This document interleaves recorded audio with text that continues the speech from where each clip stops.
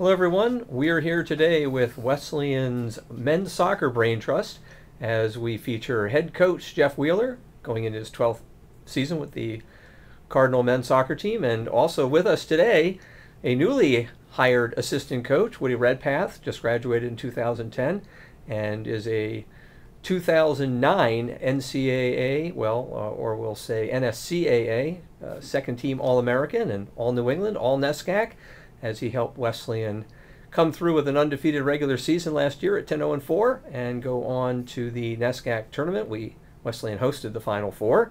Uh, did not win the tournament championship, but gave it a good run. Qualified for the NCAAs for the third time in the last five years and won a couple of games and eventually fell to Rochester in overtime at the sectional semifinals last year. But a great run for the Cardinals uh, with an overall record of 12 2 and 5. Um, so we're going to sit here and talk a little bit to head coach Geoff Wheeler, as I mentioned, in his 12th season with Wesleyan, graduate of Dartmouth College. Uh, what do we see coming off that fabulous season last year, Geoff? And knowing we've had a few losses, including that of Woody Redpath uh, from the ranks of that uh, undefeated regular season team last year. Well, I think we have a lot of exciting pieces returning, and despite the graduation of Mr. Redpath here and his uh, classmates, uh, I think there's some great young talent returning, and um, the leadership uh, question mark uh, that uh, uh, we're all going to face because of the graduation of Redpath again and, and, and his cohorts um, is, is the question mark going forward. Mm-hmm.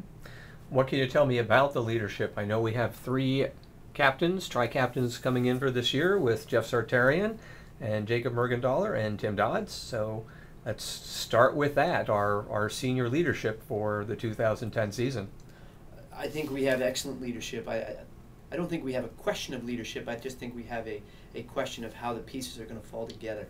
And last year they fell together so nicely when we went to Argentina, which was a, um, a, great opportunity for the team to gel early in the year. Mm-hmm. Um, and without that, uh, this coming year, we're going to be forced to gel even earlier. Um, and I know that Dodds, Zartarian, and Mergendaler are are eager to make that happen quickly. We're going to just say hi to one Jacob Mergendaler as uh, this shot taken from last year's opening contest at Williams, where uh, Jacob had the tying goal late in the second half as the Cardinals forged a 1 1 tie with the Ephs. And also here a shot from the Springfield game of tri captain Jeff Zartarian uh, in control of the ball as they are two of the three tri captains from last year. Tell us also, Geoff, about the returning All American in goal for Wesleyan as the NESCAC Rookie of the Year and uh, third team All American. Adam Purdy is back in the Cardinal net.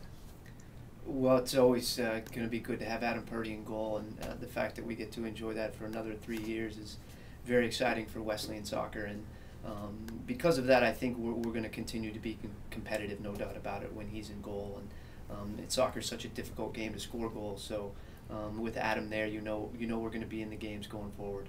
Great. And who other, who other among the returnees would we like to make specific mention of as stalwarts for this upcoming season?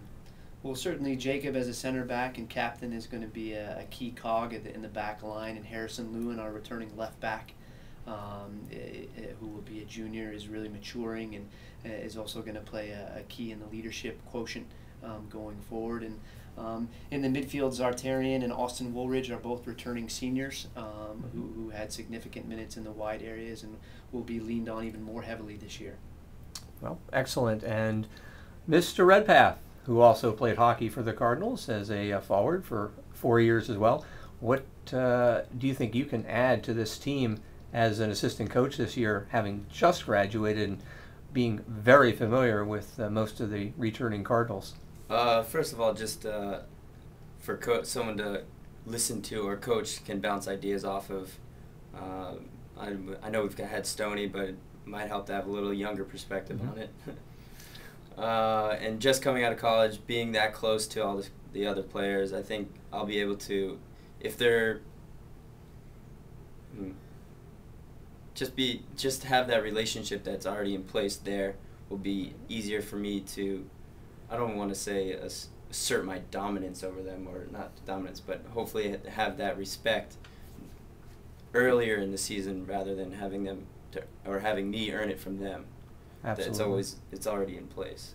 I'm, I'm sure the transitioning uh, with someone of your nature and longstanding uh,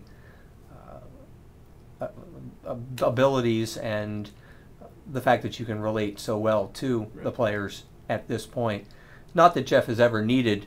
Uh, Right. Geoff always has a way of getting through to his players that uh, I, I think has been evident for years, and especially by the, the team's play. And speaking of the team's play, Geoff, we're going to open with the NESCAC defending tournament champions taking on the NESCAC regular season champions in Wesleyan as the Williams College Ephs will invade Middletown on September 11th for the opener. What do you envision in that uh, exciting matchup as both not just NESCAC but Little Three uh, activity? Well, it's always a tight match with, with the Ephs, no question. Whether it's up at their place or it's or it's here at ours, and uh, we look forward to it. I think it's great when you play good teams, and the earlier in the season, the better, because you find out where you are. It's a great benchmark, and um, regardless of the score, both teams are going to improve dramatically over the course of a 14-game season, and um, you know, it, history would suggest that we perhaps will see them again uh, before the season is out. So. Uh, it's one game. We're excited for it, but there are many others for us to be ready for as well. Are you willing to go on record with a prediction for this 2010 Cardinal squad? Uh, our goal is to be uh, as good as we possibly can, and last year that was uh, was was was pretty good. And this year, um, you know, I think the pieces are there to um, equal that, um, but there's still some question marks that need to be answered to see if we can reach that uh, juncture again. Well, I'm sure all the Cardinal faithful are very much looking forward to this 2010 season, especially one Peter Stein, class of 84, who seems to have become our staff photographer and can't get enough of Wesleyan men's soccer, that's for sure. So I want to thank uh, Coach Wheeler and Coach Redpath for joining us here today as we get set for this exciting 2010 Wesleyan men's soccer season. And uh, good luck and, and best foot forward. Thank you. Thank you. Thank you.